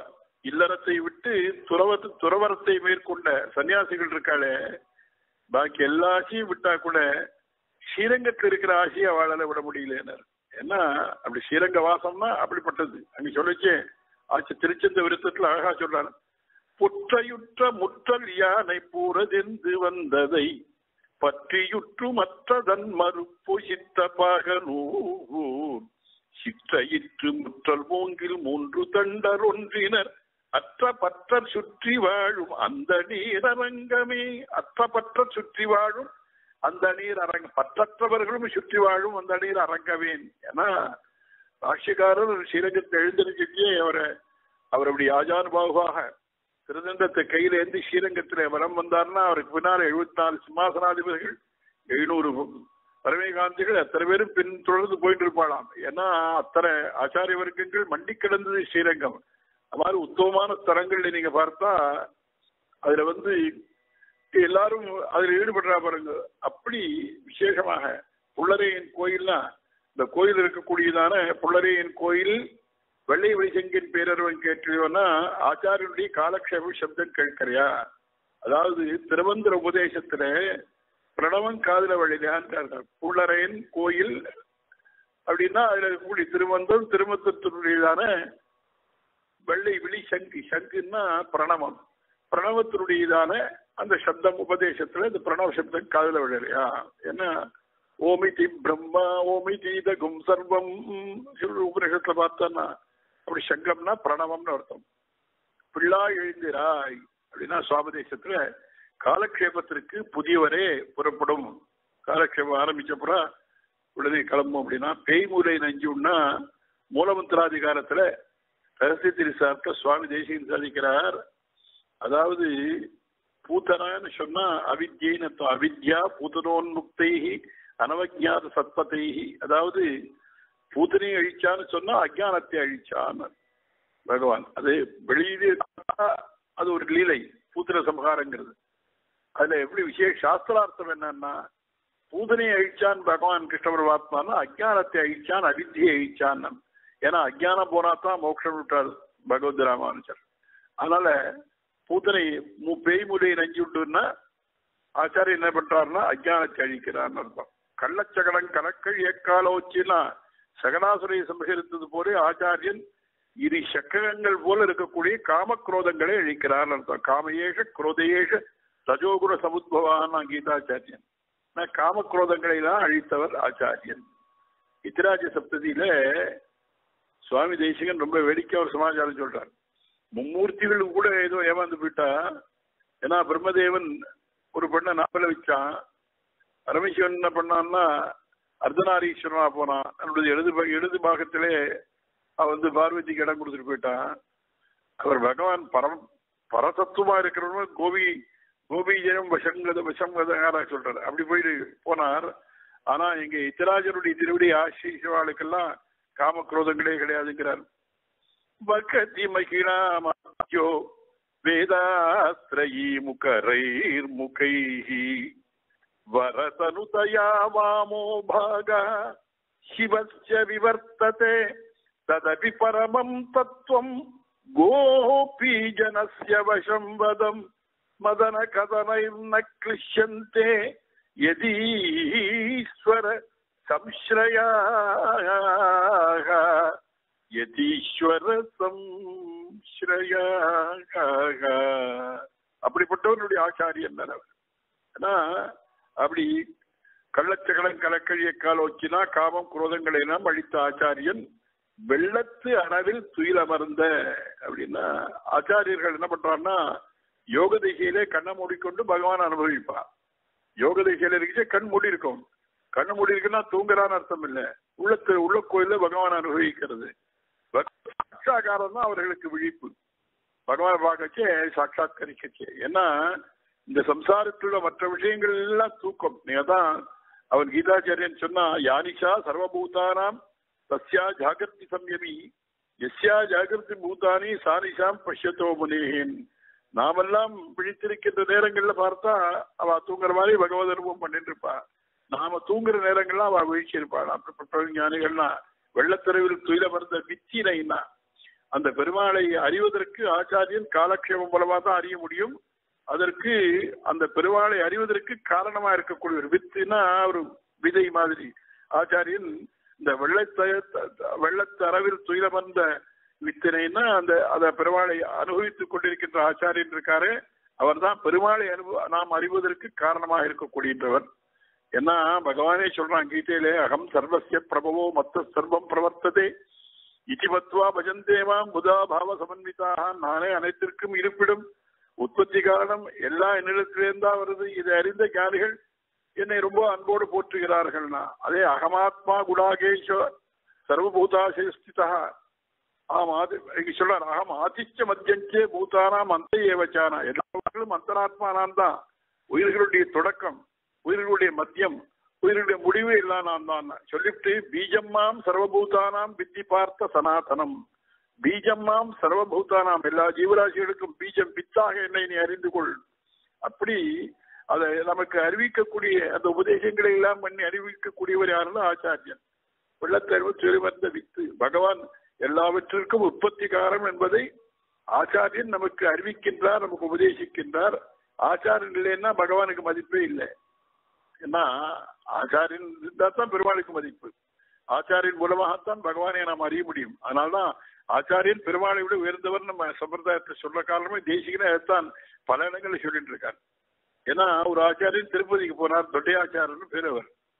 அங்க போனா பெருமாளை சேவைக்க போனா இப்ப பெருமாள் சேவை கிடையாதுன்னு இப்ப என்னன்னா தோமால சேவை நடந்துட்டு இருக்கணும் அப்புறம் இப்ப பூலங்கி சேவை நடக்க சேவை இல்லை. இப்ப அர்ச்சனை நடக்கிறது சேவை. பார்த்தார் பொறுத்து பார்த்தார். என்ன சொல்ல ஐஸ்வர்ய மதமத்தோசி மாம்ன ஜானாசி கேசவான்னு போய் கோபத்தோடு பலிபீடத்துல ஒரு குத்து குத்தினாராம். உடனே பெருமாள் பயந்து போய் பட்டான்னு கதவை திறந்து ஏன்னா ஆச்சாரியர்கள் என்ன பரமதங்கள் பரசத்துவம் இல்லைங்கிற போது அதை ஸ்தாபிக்கிறது ஆச்சாரியால் தான் அதையெல்லாம் கட்டித்து நம்ம பெருமாளுடைய பெருமையெல்லாம் உலகத்திற்கு ஸ்தாபிக்கக்கூடிய ஒரு ஆச்சாரியனால அந்த ஆச்சாரியன் தான் விசேஷமாக அப்படிப்பட்ட வித்து நம்ம பெருமாளை எல்லாம் அறிவதற்காக வெள்ளத்தவ அளவில் துயில வந்த வித்தினை உள்ளத்துக்கொண்டு முனிவர்களும் யோகிகளும் வெள்ள எழுந்து இப்படிப்பட்ட ஆச்சாரிய சிரேஷ்டர்களை பிரீத்தியோடு ஸ்மரித்து சிஷ்யர்கள் சாவதானமாக பிரணாமம் செய்து அரி என்ற பேரர்வனா ஆச்சாரியனுடைய தனியனை அனுசந்திக்கிறார்களே அது உள்ளம் புகுந்து அந்த துவனி உள்ளத்தை குளிரச் செய்யவில்லையா? நீ எழுந்திருக்க வேண்டாமா? இன்னும் தூங்கிட்டு இருக்கியே என்பதாக இதுல சுவாபதேசத்துல ஆறாவது பாசுரத்திலிருந்து பதினஞ்சாவது பாசுரம் ஈராக பத்து என்று ஒரு கிரமம் இருக்கு. ஏற்கனவே சொன்ன பத்துங்கிறது பத்து இந்திரியங்கள்ங்கிற மாதிரி. பத்துனத்தினால நம்முடைய பூர்வாச்சாரியர்கள் இன்னொரு அனுபவம் இதுல பார்க்கிறோம். பத்து ஆழ்வார்களை எழுப்பினா அப்படின்னு. அதுல ஒரு கேள்வி நமக்கு வரும். ஏன்னா ஒரு இதுக்கெல்லாம் சாதாரணமாக கேள்வி நம்ம சந்தேகங்கள் அதை தீர்க்கணும் ஆண்டாள் காலம் வேறு ஆழ்வார்கள் எல்லாரும் ஆண்டாளுக்கு முன் பிறந்தவர்களை. சில பேர் பின்னால் அவதரித்தவர்கள் இருக்கா ஆழ்வார்கள் சில ஆழ்வார்கள் ஆண்டாளுக்கு முன்னால் அவதரித்தவர்கள். சில ஆழ்வார்கள் ஆண்டாளுக்கு பின்னால் அவதரித்தவர்கள். அந்த ஆழ்வார்கள் எழுப்புவதாக இந்த பாசுரம் எப்படி பொருந்தும்னு கேட்டா இப்படித்தான் நம்ம அதை மனசுல வச்சுக்கணும். அதாவது நம்ம பத்துங்கிற எண்ண எண்ணிக்கையை வச்சுன்னு நம்ம அனுபவத்தினாலே நம்ம பூர்வாச்சாரர்கள் பத்து ஆழ்வார்கள் அவர்களுடையதான திவ்ய சுக்திகளை இதோடு இணைத்து இந்த பாசுரங்களுக்கு பொருத்தி வைத்து அனுபவிக்கின்ற கிரமத்தில் பார்க்கச்ச அந்த ஆழ்வார்கள் போன்றதான மனோபாவத்தை உடைய ஒரு பெண்ணை எழுப்புகிறாள். அப்படி பண்ணிக்கணும். அந்தந்த ஆழ்வாருடைய மனோபாவம் அப்படி இருக்கக்கூடியதான பக்தை அவள். அவளை எழுப்புகின்ற பொழுது இந்த பாசுரம் அதற்கு பொருத்தமா இருக்குன்னு. ஆழ்வார்கள் யாருன்னா ஆழ்வார்கள் என்று சொன்னாலே எம்பெருமானுடைய கல்யாண குணங்கள் என்கின்றதான அந்த சமுத்திரத்திலே ஆழ்ந்து போனவர்கள் ஆழங்கால் பட்டவர்கள் அதனால ஆழ்வார்கள் என்று பெயர். ஆழ்வார்கள் மொத்தம் பன்னெண்டு பேர் கணக்கு. ஆனால் ஆழ்வார்கள் பதின்மர்கள் நம்ம சொல்றோம். ஏன்னா மேகங்கள் சமுத்திர ஜலத்தை வாங்கி சர்வோபஜீவியான தண்ணீராக முழுவா போல ஒரு பராங்குஷ பரகாலாதிகளை கொண்டு அபினவ தசாவதாரம் செய்வித்தினார் தேசிகன். தசாவதாரம் ஆழ்வார்கள் பத்து பதினொன்று ஏன்னு கேட்டா அந்த பெரியாழ்வாருடைய திருக்குமாரத்தியான ஆண்டாள் பெரியாழ்வாரை சொன்னா ஆண்டாளை சொன்னதாக ஒண்ணு இன்னொரு காரணம் எம்பெருமானுடைய பிராட்டிமார்களே ஒருவள். அதனால தனியா அதையும் தவிர்த்து அதே மாதிரி மதுர கவிகள் நம்மாழ்வாரை அடிபற்றி இருக்கிறவரான தனியா இல்லாமல் பாக்கி பத்து பேர் ஆழ்வார்கள் பதின்மர்கள் என்று நிர்வகிக்கின்ற ஒரு கிரமம். அதுல ஆறாவது பாசுரம் ஏழாவது பாசுரம் எட்டாவது பாசுரம் இந்த மூன்றும். ஏன்னா இந்த ஆழ்வார்கள் அனுபவிக்கிறதுன்னு வரைக்கும் ஒரு ஒரு பாசுரத்துக்கும் ஒவ்வொருவர் ஒரு ஒரு விதமா சொல்லிட்டு இருக்கா. அங்க அதுக்கு ஒரு ஃப்ரீடம் அவாவா ஒவ்வொரு பாசுரத்துக்கும் யூனிஃபார்மா இல்லை அது. ஆழ்வார்கள் அனுபவத்தை நீங்க பார்த்தா உபன்யாசகர்கள். ஆனா அடியன் ஆச்சாரியன் திருக்குடுதாரன் சாதிக்கிற வழக்கம் நமக்கு வழிகாட்டி சுவாமி தேசிகன். சுவாமி தேசிகன் வையகமன் போய் பொய்கை பூதம் பேயாழ்வான் ஆரம்பிச்சு அந்த ஆழ்வார்கள் என்ன ஆர்டர்ல சொல்லிருக்காரோ அந்த ஆர்டர்ல அந்த ஆழ்வாசத்திலிருந்து அனுபவிக்க வேண்டும் என்று அப்படி காலக்ஷேபத்தை சாதிக்கிற வழக்கம். அந்த கிரமத்துல ஆறாவது பாசுரம் அதுல எழுப்பப்படுகின்றதான ஆழ்வார் யாருன்னு கேட்டா பொய்கை ஆழ்வார். ஏன்னா முதலாழ்வார்கள் மூன்று பேர். இந்த முதலாழ்வார்கள் மூவரிலே பொய்கை ஆழ்வார் முதல்வர் முதலாழ்வாரிலே முதல்வர் பொய்கை ஆழ்வார். அதுக்கப்புறம் பொய்கை பூதம் பேயாழ்வார் என்று மூவர்கள். இந்த மூவரை சேர்த்து அனுபவிச்சா தான் அந்த சரித்திரம் நமக்கு புரியும். இந்த மூவருடையதான சரித்திரம் எப்படின்னு கேட்டா மூன்று பேரும் பொய்யாழ்வார் புதத்தாழ்வார் பேயாழ்வார் மூவரும். ஐப்பசி மாசத்துல திருவோணம் அவிட்டம் சதயம் ஆகிய மூன்று அடுத்தடுத்த நாட்களிலே வெவ்வேறு இடங்களிலே இந்த காஞ்சிபுரத்துல திருவக்காக்கு பக்கத்துல பொய்கை அந்த பொய்கையில அவதரித்தவர் பொய்கை ஆழ்வார் கடல் மல்லை காவலனே பூதவேந்தேங்கிறார் தேசிகன் கடல் மல்லையில அவதரித்தவர் பூதத்தாழ்வார் திருமயிலை மயிலாப்பூர்ல அவதரித்தவர் பேயாழ்வார். அடுத்தடுத்த நாளிலே வெவ்வேறு இடத்திலே அவதரித்த இந்த மூவரையும் ஓரிடத்திலே ஒன்று சேர்க்கின்றான் எம்பெருமான் திருக்கோவிலூர் பிரகுண்டு மணிவருடனான அது இடைகழியிலே. அங்க ஒருத்தருக்கு ஒருத்தர் இந்த சந்திக்கிற அந்த விற்த்தாந்தத்தை நான் எட்டாவது பாக்கத்தும் பார்க்கச்ச பூர்த்தியா சொல்றேன். அப்படி பார்க்கின்ற பொழுது ஒருத்தருக்கு ஒருத்தர் அங்க அவர் ஒரு ஒரு ஒருத்தர் ஒரு விளக்கேற்றினாருங்கிறாருங்க அப்படி பொய்கை ஆழ்வார் இவர் தொண்ட மண்டலத்துல காஞ்சி மாநகரத்துல தோப்தகாரி சந்நிதிக்கு பக்கத்துல திருவக்கான் இருக்கு பிரசித்தமான. அந்த பொய்கையிலே தோன்றியவர். இவர் பெருமாளின் பாஞ்சஜன்யத்தினுடைய அம்சம். இவர் முதலாழ்வார் மூவிலே முதல்வரான இவர் வந்து என்ன பண்றாருன்னா இந்த மூன்று பேர் பார்க்கச்சே ஒருத்தர் ஒரு வையந்த கழியாவார் கடலே நெய்யாக வெய்ய கதிரோன் விளக்காக செய்ய சுடராழியானடிக்கே சுட்டினேன் சொல் மாலை இடராழி நீங்குகவே என்று. விற்த்தாந்தம் என்னன்னா ஒரு நாளைக்கு நல்ல மழை காலம் சாயங்கால வெள்ளை முன்னிருட்டு காலம். அங்க முருகண்டூர் ரிஷியினுடைய ஆசிரமம் திருக்கோவிலூர்ல. அங்கு இந்த பொய்காழ்வார் முதலாழ்வார் முதல்வர் முதல் என்ன பண்ணார்? தங்குவதற்கு இடம் கேட்டு மழைக்கு ஒதுங்குவதற்கு இடம் கேட்டு அவருடைய அந்த மிருகண்டூருடைய தான் ஆசிரமத்துக்கு வந்து கதவை தட்டுறார். அவர் வந்து உள்ள வாங்குவோம்னு சொன்னார். உள்ள வந்து எங்க ஒரு இடைகழி அந்த மிருகண்டு ரிஷியருடையதான ஆசிரமத்தில் இடைகழியிலே இவர் வந்து படுத்திருந்தார். கொஞ்ச நேரம் இந்த மழை கொஞ்ச நேரம் கழிச்சு மற்றொரு வந்து கதவு தட்டினார். அவர் தான் அடுத்தது பூதத்தாழ்வார். ஒருத்தருக்கு ஒருத்தருக்கு தெரியாது ஆனா. அவர் சொன்னார் படுத்தினபடியே முதல்ல வந்தவர் இங்கு ஒருவர் படுக்கத்தானே இடம் இருக்குன்னு உடனே வெளியில இருந்து அவர் சொன்னார் ஒருவர் படுக்க இடம் இருந்தால் இருவர் இருக்கலாமே எனக்கு இடம் கொடுங்கன்னார். சரின்னு அவரே உள்ள விட்டார். ரெண்டு பேரும் வந்து உட்கார்ந்து உட்கார்ந்து இருக்கா ஒருத்தர் முகத்தை ஒருத்தர் பார்க்கல ஒரே இருட்டு. அப்ப மூன்றாம் ஒருத்தர் வந்தார். அவர் தான் பேயாழ்வார் அவர் வந்து கதவை தட்டினார். இவா ரெண்டு பேரும் சேர்ந்து கோரஸ் சொன்னா நாங்கள் இங்கள் இருவர் இருக்கத்தானே இடம் இருக்கிறதுன்னு உடனே வெளியிருக்கிறவர் கேட்டால் இருவர் இருக்க இடம் இருந்தால் மூவர் நிற்கலாமேனார் உடனே எடை கொடுத்தார். அந்த மகாத்மாக்கள் உள்ளத்தை பார்க்கணும். நாமெல்லாம் என்ன பண்ணுவோம்னா செல்பிஷா இருப்போம். நமக்கு இடம் கொடுத்தா அர்த்தவுக்கு இடம் கொடுக்க மாட்டோம். அவர் உடனே வந்தா மூன்று பேரும் நிற்கிறாங்க. நின்றுட்டு இருக்க அந்த இருக்கிற இடத்துல அட்ஜஸ்ட் பண்ணிட்டு அந்த நேரத்துல இவர் மூவரும் அறியாமல் நான்காவது ஒருவர் அவர்களை நெருக்குவது மாதிரி அவர்களுக்கு ஒரு உணர்வு ஏற்பட்டது. அது யாருன்னா எம்பெருமான் திருக்கோவிலூர் எம்பெருமான். இவர்களை ஒன்று சேர்த்து இவர்கள் புரிய வைப்பதற்காக இருட்டில் யாருன்னு பார்க்கணும்னு விளக்கேற்றினாரா அதுல இந்த பொய்கை ஆழ்வாருங்கிறவர் விளக்கேற்றினார் அவரு என்ன விளக்கேற்றினாரால் வையம் தகடியா வாக்களிலே நெய்யாக. இந்த ஏன்னா வையம் தகலியான அந்த உலகத்தையே ஒரு அகல் வழக்கு மாதிரி பண்ணி கடல் ஜலத்தையே நெய்யா. நமக்கு இப்படி இருந்தா ரொம்ப சுலபம் தான். இப்ப என்ன எண்ணெய் விற்கிற விலையில நெய் விற்கிற விலைன்னு. அவருக்கு முடிஞ்சது. வார் கடலே நெய்யாக சமுத்திரத்தையே நெய்யா வச்சிருந்தார் வெய்ய கதிரோன் விளக்காக சூரியனுடைய அந்த ஒளி இருக்கே அது ஜுவாலியா வச்சு செய்ய சுடராழியான் அடிக்கே சூட்டிலேன் சொன்மாரை இடராழி நீங்கவே என்றுன்னு அப்படி பாடுறார். இவரை பத்தி பிரபந்த சாரத்துல சுவாமி தேசிகன் ரொம்ப அழகா அவரை கொண்டாட சொல்லச்சு அருள் மிகுத்ததொரு வடிவாய் கட்சி தன்னில் ஐப்பசி மாத திருவோணத்து நாளில் பொருள் மிகுத்தாரை விளங்க புவியோர் உய்ய பொய்கை தனில் வந்து உதித்த புனிதா முன்னாள் இருதனில் தன் கோவல் இடை கழிச் சென்று இருவருடன் நிற்கவும் மாலிடை நெருக்க திருவிளக்காம் எனும் வையந்தகளினூராம் செழும் பொருளை எனக்கருள் செய்திருந்தனையே. நூறு பாசுரங்கள் பண்ணார் அவர்.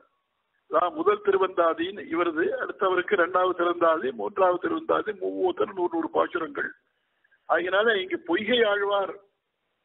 அவரை எப்படி இந்த பாசுரத்தினாரே அனுபவம் எப்படின்னு இவர் திவிசுக்தி வச்சு நம்ம பார்க்கணும் இப்ப. அதை வச்சு கனெக்ட் பண்ணி ரிலேட் பண்ணி சொல்லணும். புள்ளும் எலும்பனகான் புள்ளதையும் கோயில் வெள்ளை விழிசங்கின் பேரரவன் கேட்டியவன்னா வெள்ளை விழிசங்கு இந்த ஆழ்வாரே பாட்சஜேந்திரத்துடைய அம்சம் வெள்ளை விழிசங்கின் பேரவரும் அப்புறம் வெள்ளத்திரவில் அளவில் துயரமர்ந்த வித்தினை அப்படிங்கிற பதத்துக்கு இவருடைய பாசுரம் பார்த்தோம்னா உளங்கண்டாய் நன்னஞ்சேன் உத்தமன் என்றும் உளங்கண்டாய் உள்ளுவார் உள்ளத்து உளங்கண் வெள்ளத்தில் உள்ளானும் வெங்கடத்து மேயானும் உள்ளத்தின் உள்ளான் என்று ஓர் வெள்ளத்தளவில் துயவர்ந்த வித்தினை வெள்ளத்தின் உள்ளான்.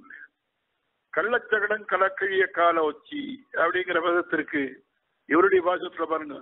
ஓரடியும் ஷாடு உதைத்த ஓரார் மலர் சேவடியும் ஈரடியும் காணலாம் என்னஞ்சே ஓரடியின் தாயவனை கேசவனை தன் துழாய் மாலை சேர்மாயவனையே மனத்து வை. பேய்முறை நஞ்சுண்டுங்கிற பத வரைச்சு இவர் பாட்டு சொல்றார்.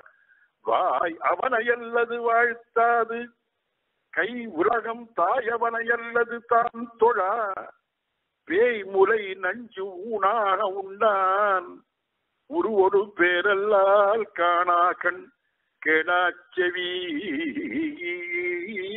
இப்படி சொல்லிட்டே போகலாம். ஒரு சாம்பிளுக்காக பழையனால ஆறாவது பாசுரம் பொய்கை ஆழ்வாருடைய மனோபாவத்தை உடைய ஒரு பெண்ணை எழுப்பினதாக அங்க அதில் எடுத்துனோம்னா அதுக்கப்புறம் ஏழாவது பாசுரம் ஏழாவது பாசுரத்தை கீசி கீசென்று இங்கும் மானைச்சாத்தன் கலந்து பேசின பேச்சரவன் கேட்டிலையோ பெய்ப்பண்ணே. காசும் பிறப்பும் கலகலப்பக்கை பேத்து வாசரழுங்குழராட்சியர் மத்தினால் ஓசப்படுத்த தைரரவன் கேட்டிலையோ. நாயகப் பெண் பிள்ளாய் நாராயணன் மூர்த்தி கேசவனைப் பாடவும் நீ கேட்டே கிடத்தியோ. கேசமுடையாய் திரவேலோரெம்பாவாய் என்பது ஏழாவது பாசுரம். இந்த பாசுரத்திலே எழுப்பப்படுபவர் யாருன்னா ஆறாவது வாசனத்திலே பகவத் விஷயத்திற்கு புதிய வடிவத்தில் எழுப்பினானா? அங்க என்ன? பிள்ளான்னு சொல்லி. இங்க என்னன்னா பகவத் விஷயத்திலே பழையவளாக இருந்த போதிலும் புதுமை பாவிப்பால் ஒருவரை எழுப்புகிறாள். அதாவது அதை மறந்து போயிட்டா. என்னன்னா பகவானை சேவிக்கிறதுன்னு என்ன அர்த்தம்? பகவத் விஷயம் எங்கன்னா பகவத் விஷயம் ரொம்ப ருச்சி இருக்குன்னா எப்படின்னா அது பாகவத பக்தி வரில் சேர்ந்தா தான் அது. பாகவதாலை புரிந்து கொண்டா தான் பகவானுடைய பக்திங்கிறது உண்மையாக அது பலிக்கும். அதை மறந்து படுத்துட்டு இருக்கிறவன் வெளியில வந்து எல்லாரும் கூப்பிடுறவரும் உள்ள படுத்துட்டு இருக்கிறவாளாம். அப்படிப்பட்டவளும் ஒரு எல்லாரும் வாசல்ல வந்தா உள்ள இருந்து கேட்கிறா பொழுந்து ஒடிச்சு எழுந்து ஒடிச்சு விட்டா அதுக்குள்ள வந்திருக்கேன்னு இவ வெளியில இருக்கிறவன் கேட்டா சொன்னா நாங்க வந்திருக்கிறதுல இருந்தே பொழுது ஒடிச்சு தெரியலையான்னு அதுக்குள்ள இருக்கிற பதில் சொன்னானா நீங்கள் அகாலத்திலே வந்து விட்டீர்களோ என்று நினைக்கிறோம். இங்க இதுக்கு அவதாரிக்கே ரொம்ப அழகு. ஏன்னா அகாலத்துல போய் ஸ்நானம் பண்ணக்கூடாதுன்னு சொல்லிருக்கு. நீராடுன்னு தானே சொல்லியிருக்காவ நீராட்டம்ங்கிறது ஸ்நானம் பண்றதுன்னா அகாலத்தை பண்ணக்கூடாது. ஏன்னா அங்க சொல்லச்சு யாமோ தோ மத்தியமோ ராத்திரி ஆசுர சமயோ மதா. முதல் யாமத்துக்கும் கடைசி யாமத்துக்கும் இடையில் உள்ள ரெண்டு நாமங்களும் ஆசுர நேரம்னு பேரு. அதனால நீங்க பாதுராத்திரில வந்திருக்கணும்னு நினைக்கிறேன் நான். பொழுது விடியல. ஏன்னா நம்ம இப்ப போய் சொன்னோம்னா இது ஆசிரியம் பேரு. ரொம்ப ஆபத்தான டைம் நந்தகோபன் கதை நந்தகோபனுடைய கதை தெரியாதா உங்களுக்கு? கேட்டாலும் உள்ள இருக்கிறவர் வியாக்கியானத்தை அழகாத அது என்ன நந்தகோபன் கதை? என்ன வெளியில இருக்கிறவ இவளை எழுப்பு வந்தவாளுக்கு அவதோ கதை சொல்லிட்டு இருக்கா சொன்னா அது பாகவத்தில் இருக்கிற விற்த்தாந்தம் இது. அதாவது ஒரு நாள் என்ன பண்றார் நாரத பகவான் வந்தார் நந்தகோபுடைய கிரகத்துக்கு. ஏன்னா கிருஷ்ணன் வளர்ந்துட்டு இருக்கான் குழந்தையா. எங்க இப்பெல்லாம் அப்பப்பெல்லாம் நாரதருக்கு அந்த பகவானையே நினைச்சிட்டு இருக்கிறவர். பகவானை சேவிக்கணும்னு என்ன வரபோதெல்லாம் நந்த நந்தவரஜத்துக்கு வந்துருவர் ஒரு நாள் வந்து நந்தகோபாலனை பார்த்தார். நந்தகோபாலா உன் வீட்டில் வளர்றானே கிருஷ்ணன் குழந்தையா? அவன் யார் தெரியுமா? சாட்சாத் சிவன் நாராயணன். நீ ஏகாதசி விரதம் இருந்தா ரொம்ப நல்லது. அதுக்கு பேரு ஹரிதினம்னு பேரு விட்டுதான் தேவதை ரொம்ப விசேஷம். ஏன்னா ஏகாசி விரதத்தை பத்தி விசேஷமாக சொல்கிறார் சுத்தம் பாகவதஸ்யான்னம் சுத்தம் பாகீரதி ஜலம் சுத்தம் விஷ்ணுபத தியானம் சுத்தம் ஏகாதசி விரதம்னு. ஏகாசி என்னைக்கு அன்னத்தை உள்ள உண்ணக்கூடாது. முழுக்க பட்டினி இருக்கணும். முழுக்க பட்டினி இருக்க முடியலன்னா தான் அவரவர்களுக்கு உள்ள ஏன்னா வயசானவர்கள் உடம்பு சரியில்லாதவர்கள் அதுக்கு முடியாதவர்கள் என்று அதுக்கெல்லாம் எக்ஸப்ஷன் இருக்கே தவிர அன்னத்தை சாப்பிடக்கூடாது இன்னைக்கு அதுக்காக அது மாதிரி விரதமெல்லாம் விரதானுஷ்டானங்கள்லாம் விதிச்சிருக்கு. ஏகாதசி அன்னைக்கு நிர்ஜலமாக இருந்து பட்டு இருந்துட்டு துவாதிசி காலையில் எழுந்து நீராடி பகவத் ஆராதனைலாம் பண்ணி அன்னைக்கு பாரணம் பண்ணணும். அது பண்ணினா ரொம்ப விசேஷம் அப்படின்னு நாரதர் சொல்லிட்டு போயிட்டார். நாரதர் வழிகாட்டி நல்ல விஷயத்தை சொல்லிருக்காரா? அதனால நந்தகோபருக்கு ரொம்ப ரொம்ப சரின்னு பட்டு ரொம்ப இஷ்டம் அதில். அவர் என்ன பண்ணார் போய் யசோதிட்ட போய் சொன்னார் அம்மா இப்ப நாளைக்கு ஏகாதசி. இந்த முறையிலேருந்து நான் ஏகாதசி விரதம் இருக்கணும்னு நினைச்சிட்டு இருக்கேன் அதுக்கு வழங்குற ஏற்பாடு பண்ணு. ஏகாதசி ஒன்றும் சாப்பிட விடுதில்லை துவாதசினிக்கு தான் பாருனேன். அந்த ரொம்ப சந்தோஷம். பரவாயில்ல ரொம்ப நல்ல காரியம் தான். அவர் சாப்பிடலன்னா அவளும் சாப்பிட போதில்லை இன்னைக்கு அன்னைக்கு ஒன்றும் தேவையில்லை. பட்டினி இருந்துள்ளான். சாதாரணமா திருடபுரத்தனா இருக்கணும். ஏகாதசி விரதம் சில பேர் பார்க்கலாம். ஏகாசி விரதம் இருக்கேன்னு ஆரம்பிக்கிறார் ஒருத்தர் ஒரு சுவாமி. அவர் பத்திரிகிட்ட போய் சொன்னார். இந்த மா- இந்த வாரம் ஏன்னா இப்பதான் உபன்யாசத்துல கேட்டேன். ஏகாசி விரதம் ரொம்ப விசேஷம் சொல்லிருக்கா. இந்த மாசம் இப்ப கைசி ஏகாசிலேருந்து நான் ஏகாசி விரதம் இருக்கிறதா இருக்கேன் அப்படின்னு கார்த்திகை மாசம் சுக்கரபக்ஷ ஏகாசி ரொம்ப விசேஷம்.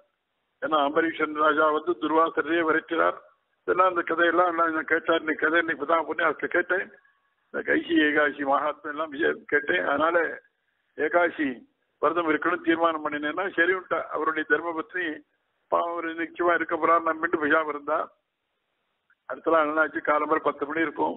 ஏகாதசி அன்னைக்கு விருந்தாளிகள்லாம் வந்தா அவருடைய மச்சின்னு நிச்சயம் அவருடைய ஃபேமிலியோட எல்லாரும் வந்தானா இவர் ஏகாதசி விரதம் இருக்கிறதுக்காக வரவாளிக்கெல்லாம் ஏதானும் விருந்து பிழைக்காம இருக்க முடியாது. அதுக்காக அந்த அம்மா அவசர அவசரமா ஏதோ விருந்தெல்லாம் பண்ணா இவர் பார்த்தார. உள்ளேயும் கிச்சனுக்கு அதுக்கும் குறுக்கே நடிக்கும் போயிட்டே இருக்காரு. உள்ள முந்திரி பருப்பு வறுக்கிற வாசனை அடிக்கிறது. ஏதோ பூசி பூசி ஐட்டங்கள்லாம் நடந்துட்டு இருக்காரு பார்த்தார் நேரா போனார் அது பத்திரிட்ட. பரவாயில்ல இந்த ஏகாட்சி பரவாயில்ல அடுத்தாப்புல வைகுண்ட ஏகாட்சி வருது மார்கழி மாசம். அதுல இருந்து நான் உபவாசம் இருக்கேன் இன்னைக்கு வேண்டாம் அது என்ன திருட விரதம் இல்லை அது. அவருக்கு மனசு உடனே செஞ்சலிக்கிறது பாருங்க. அப்படி இல்லாம இவர் பார்த்தாரு ஏகாட்சி விரதம் இருக்குன்னு தீர்மானம் போட்டார் நந்தகோபன். பாகவத கதை அது. நந்தகோபன் ஏகாட்சி விரதம் இருந்தாச்சு அடுத்த நாள் துவாதசி பாரணை. இவர் புதுசா அந்த பட்டினி இருந்து பழக்கம் இல்லாததுனால ராத்திரி ஒரு தூக்கம் வரல. பாதி ராத்திரில எழுந்தார் பொழுது முடிச்சுட்டு தான் நினைச்சிட்டு போய் யசோதி எழுப்பி நீ பரணிக்கு ஏற்பாடு பண்ணு நான் போய் யமுனையில போய் ஸ்நானம் பண்ணிட்டு வரேன்னு போயிட்டார் இவர் யமுனைக்கு போனா போனவர் ஸ்நானம் பண்ண போனவர் காலம்பர் பொழுது வச்சு ரொம்ப நாழியாகும் திரும்பி வரல.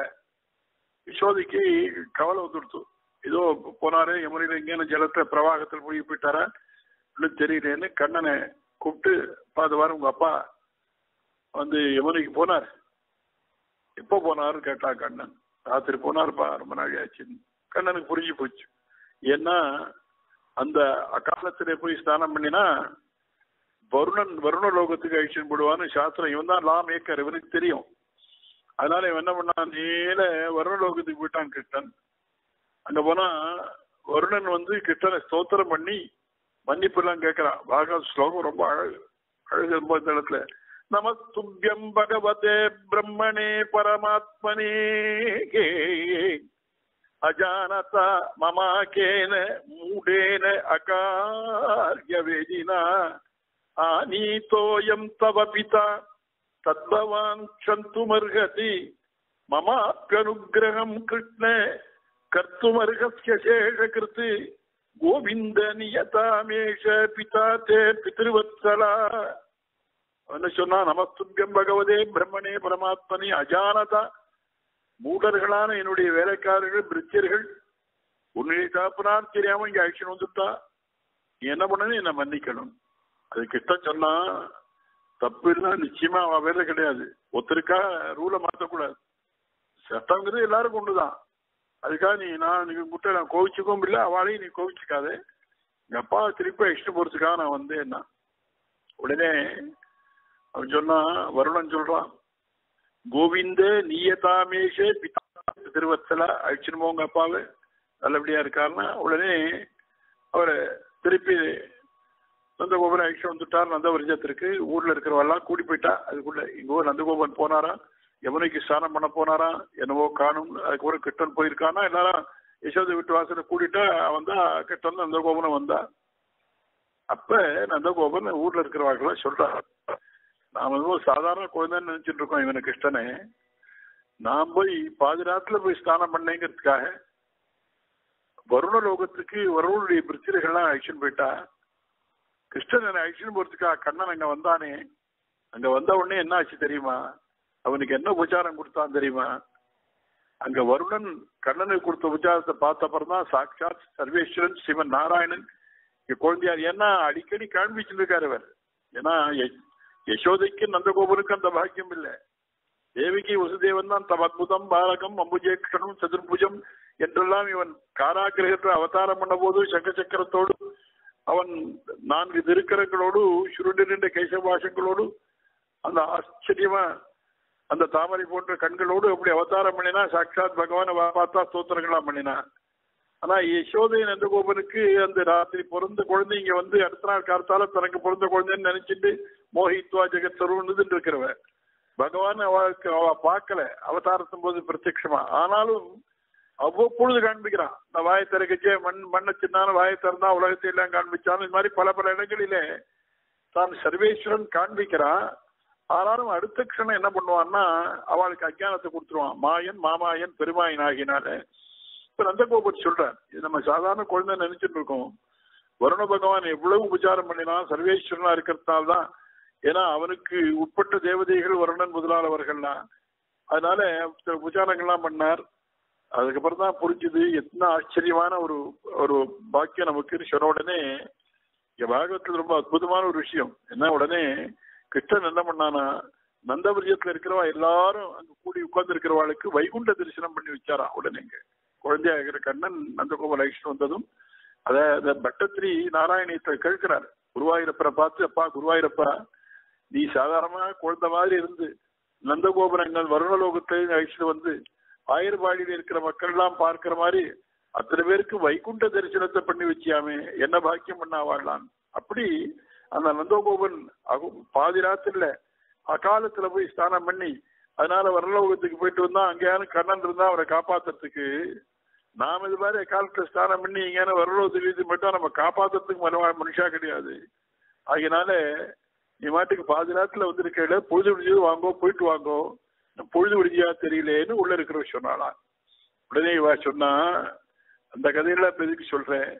நான் காலத்திலேயே வரலாமா நாங்கெல்லாம் பொழுது தான் வந்திருக்கோம்னா வெளியில இருக்கிறவா எவ்வளவு கஷ்டமா இருக்கும் எழுப்ப போனா ஒத்து கேள்வி கேட்டு இதுக்கெல்லாம் பதில் சொல்லி இருப்பதா? இதெல்லாம் நம்ம இதனுடைய அந்த உரையாசிரியர்கள் வியாக்கியாதாக்கள் தெரியலாம் அனுபவிக்கிறா ஆச்சரியமா? உடனே பொழுது விடியத்துக்கு என்ன அடையாளம்னா உள்ள இருக்கிறவன் நீங்க பொழுது விடிஞ்சு வந்தேன்னு சொல்றாங்களே. பொழுது விடியதற்கு என்ன அடையாளம்? பொழுது விடியத்துக்கு என்ன அடையாளம் சொல்லிச்சு. இவ சொல்ல போறாள் கீசி கீசென்றுங்கும் மானைச்சாத்தன் கலந்து பேசுகிற பேச்சுறவன் கேட்டலையோ? அப்படின்னு. அதாவது இவளுடைய என்ன பண்றா சாதாரணமா பார்க்கலாம். நாமெல்லாம் நமக்கு அலாரம் வச்சுட்டு ஏதோ இந்த நேரத்தில் எழுப்பணுங்கிறதுக்கு எத்தனையும் உண்டோ அதெல்லாம் பண்ணிட்டு காலப்புறம் எழுந்துப்பதற்கு நாம பண்றோம். ஆனா அந்த பட்சிகள்னா பொழுது விடிஞ்சதற்கு முந்தின பாசனத்திலே முந்தின உபன்யாசத்திலே பார்த்தோம். காலை எழுந்து கரிய குருவிக்கணங்கள் மாலின் வரு பார்த்துன்னு ஆண்டாள். அது மாதிரி பட்சிகள் முதற்கொண்டு பகவன் நாமா சொல்றதுன்னு பார்த்தோம் பட்சிகள் எழுந்து சந்திக்கிறது. நமக்கு பகவன் நாமா இருக்கட்டும். முதல்ல காலம்பரை நம்ம எல்லாம் தூங்கி எழுந்துப்பதற்கு முன்னால பார்த்தா பொழுது விழிஞ்சியை தெரிஞ்சு பட்சிகள் சப்திக்கிறதுனா இந்த பட்சிகளுடைய சப்தத்தை தான் ஆறாவது பாசத்துல புள்ளுமி சிலம்பெனகான்னு சொன்னா இவன் ஏழாவது பாசத்துல உள்ளே படுத்துட்டு இருக்கிற பொழுது விழிஞ்சதுக்கு என்ன அடையாளம் கேட்ட உடனே கீசி கீசி என்று எங்கும் ஆனைச்சா தன் கலந்து பேசின பேச்சரவன் கேட்டிலையோ பெய்ப்பெண்ணே கீசி கீசி என்று இப்படிதான் கீச்சு கீச்சு கத்துறது சொல்லுவோம் கட்டுக்குள்ளையா? இந்த கீசுங்கிறத எழுதி படிச்சு ரிவர்ஸ்ல படிச்சோம்னா கீசு கீசுல கீசு கீசு திரும்ப திரும்ப சொன்னேனாமா? கீசு கீசு கீசு கீசு சுகி சுகி சுகி சுகின்னு அப்படி அது அது பகவன் நாமா சொல்றதுங்கிற மாதிரி அது என்ன பண்றதுன்னா பக்ஷிகள் சப்திக்கிறது. அந்த பட்சிகளுடைய சப்தம் வச்சுட்டு உனக்கு பொழுது விடிய தெரியலான்னு மேல கேட்க இதனுடைய விஸ்தாரமான அர்த்தத்தை அடுத்த புண்ணியத்தான் பார்க்க முடிய போறது. அவகாசம் இல்லை. இதுல என்ன விசேஷம் பார்த்தோம்னா இதுல ஒரு பட்சி ஒண்ணு பேரை சொல்றான் ஆனைச்சாத்தன் அப்படின்னு சொன்னான். இந்த ஆனைச்சாத்தன்கிறது மலையாளத்துல இருக்கிற பேரு இந்த பக்ஷிக்கு. சம்ஸ்கிருதத்துல இதுக்கு பாரத்வாஜ பக்ஷின்னு பேரு. தமிழ்ல வலியன் குருவின்னு சொல்றோம். ரொம்ப சின்னதா இருக்கும் ஒரு குருவி அது. ஏன்னா இப்போ இந்த குருவிகள்லாம் பார்க்கறதே கிராமங்கள்ல போனா தான் முடியுது. சிட்டிஸ் எல்லாம் ஒன்றும் பார்க்க முடியுது. குருவி எல்லாமே குறைஞ்சு போயிடுது சிட்டிஸ் எல்லாம். அது ரொம்ப சின்னது வரியும் குருவின்னு பேர் நீளமா இருக்கும். வால் சின்ன குருவி அது. அது அது சப்தத்தை வர்ணிக்கிறாங்க. அதனால ஆனைச்சாத்தன்னு சொல்லி கீச்சு கீச்சுன்னு அந்த சப்தம் கீச்சு கீச்சட்டங்கும் ஆனைச்சாத்தம் கலந்து பேசுற பேச்சுன்னு கேட்கலையோ பை பண்ணேன்னு உடனே அந்த அடையாளத்தை ஒத்துக்கலை வேற அடையாளம் சொல்லுங்கிறதா அப்புறம் காசும் பிறப்பும் கலகலப்ப கையை வைத்து வாசனன் கூட ஆட்சியர் மத்திய நாள் ஓசப்படுத்த தேரவன் கேட்டலோ என்று மேற்கூட்ட அடையாளங்களை எல்லாம் சொல்லி பொழுது பிடிச்சாச்சு இன்னும் தூங்கிட்டு இருக்கே எழுந்திரு. கிருஷ்ணாவதத்து கிருஷ்ணானுபவத்திற்கு செல்ல வேண்டும் என்று எழுப்புவதாக இந்த ஏழாவது பாசனத்திலே அடுத்து பகவத் விஷயத்துக்கு பழையவள் தான் ஆனாலும் அதை மறந்து தூங்கிக் கொண்டிருக்கின்ற ஒரு வியக்தியை எழுப்புவதான பாசனம் என்பதோடு இன்றைக்கு நடத்திக்கொண்டு இதுகாലും കേട്ട ഉങ്ങൾ എല്ലാവർക്കും ആയിരാറോക്കെ ഐശ്വര്യങ്ങളും സർവശ്രേയസും സർവമംഗളങ്ങളും സർവാഭീഷ്ടങ്ങളും കളിക്ക വേണ്ടി പ്രാർത്ഥിച്ച് മംഗളമായി മുടിக்கிறോം ശതമകമണിനീലാചാരുകൽഹാരഹസ്താസ്തരവനിതാംഗീ സാന്ദ്രവാത്സരണിലെ സിന്ധു അലകവനികിതാഭിഷ്ടഗ്വിരാത്തനാഥാവിരസുഗോദാജിത്താത്മജാന യസ്മാദേവ മയാ സർവം ശാസ്ത്രമഗ്രാഹിനാന്യത തസ്മൈ വെങ്കടനാഥായ മമനാഥായ മംഗളം സ്വസ്തി പ്രജാഭ്യ പരിപാലയന്താം ന്യായേന മാർഗേണ മഹീം മഹീഷ ഓം ബ്രാഹ്മണേഭ്യ ശുഭം വസ്തു നിത്യം ലോകാ സമസ്താ സുഖിനോ ഭവന്തു